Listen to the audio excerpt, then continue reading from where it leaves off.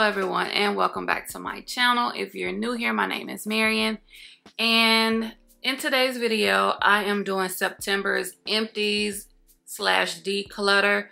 A lot of these items, either I've used them up, tried them out, didn't like them, wasn't for me, and so I am getting rid of them. But before I jump into this video, don't forget to subscribe to my channel, hit the notification bell, and without further ado, let's get started. So I don't plan for this video to be long at all because I don't have that many items.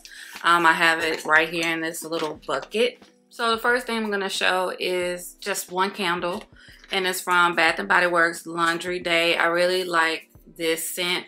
It definitely smells like laundry. So if you are, you know, fall cleaning because summer is over and you're doing your laundry and you just want a fresh, crisp scent going, then this candle here is nice.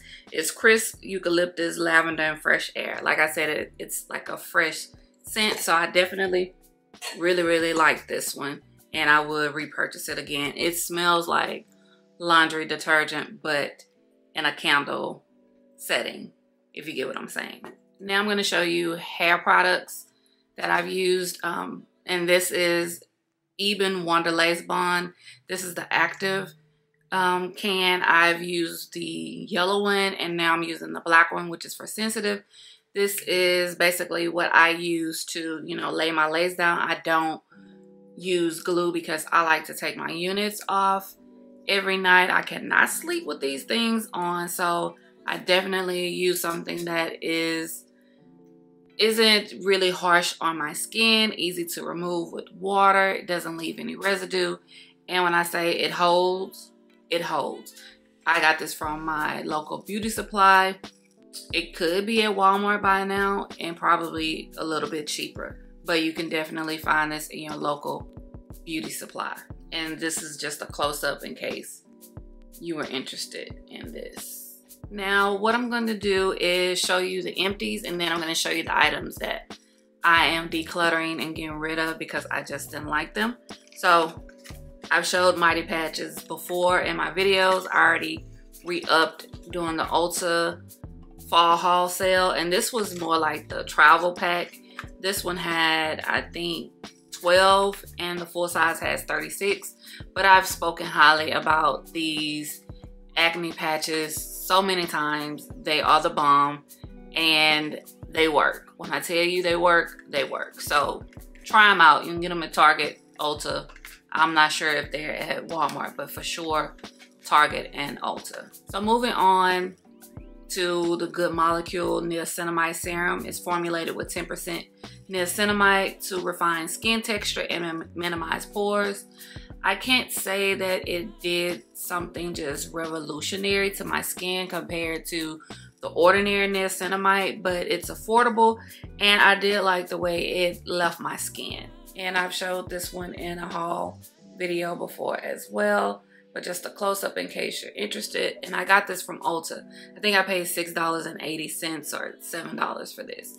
But it is a good serum to try out if that's something that you're interested in. Moving on to body care empties. This is the Body by TPH, which is Taraji P. Henson, Good Glaze, and Energizing Gel Body Cleanser in Mandarin and Ginger.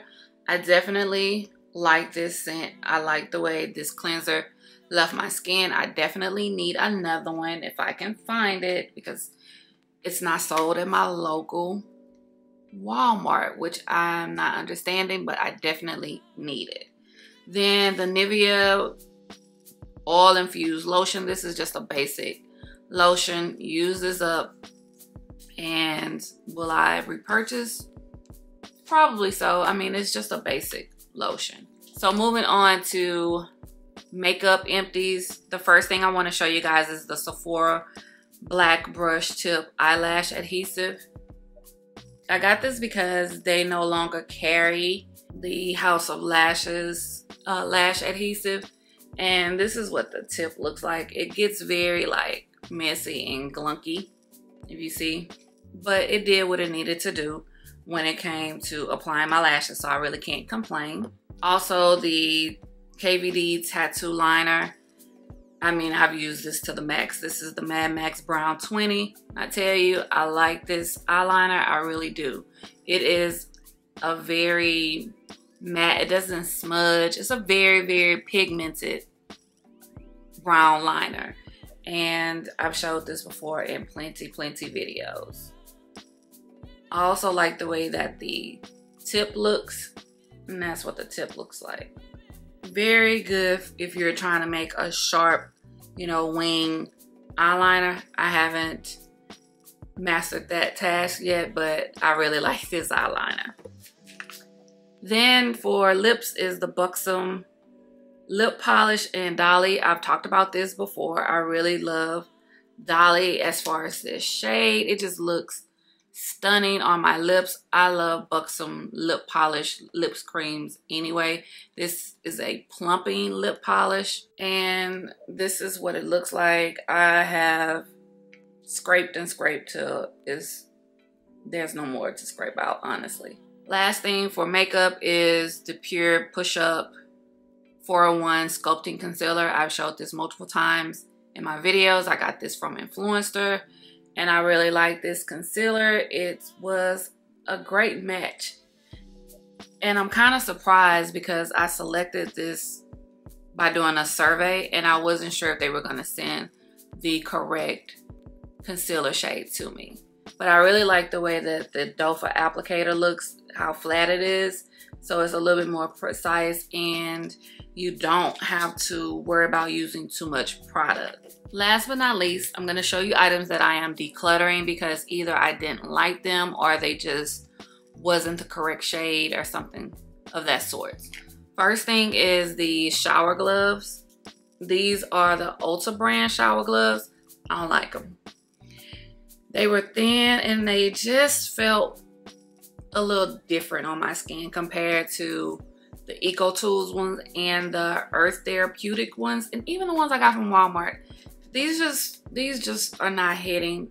Um i don't know if it's because of the size or something. It just it just didn't feel like how the other ones felt on my skin. So i think i've used this maybe six or seven times and i just finally said you know what?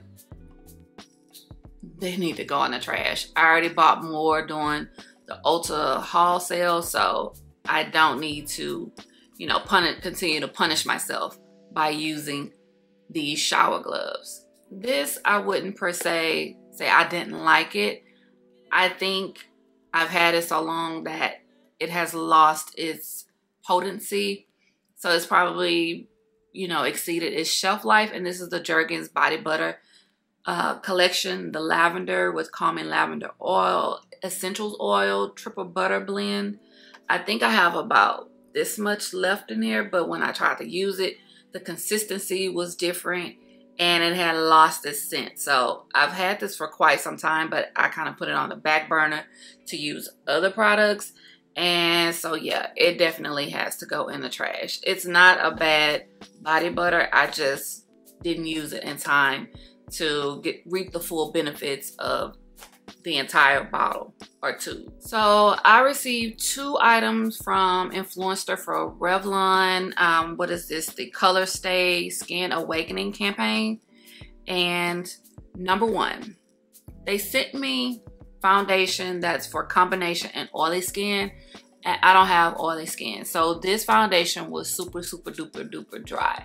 I have normal skin. And they sent me a shade that had me looking like a ghost. It has SPF 15 in it, and this was shade 310. It says it has vitamin E antioxidants defense in it. But I tried to do a video of this just to show what it looks like on me, but I was literally looking casket ready. And I just wasn't to put that on my YouTube channel. It looks horrible, horrible, horrible, horrible. But this is what the foundation looks like.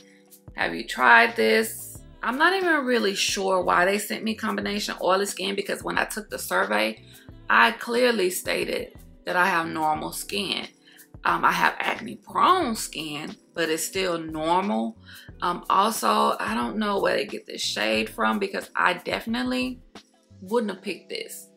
Literally, let me let me show you what it looks like on my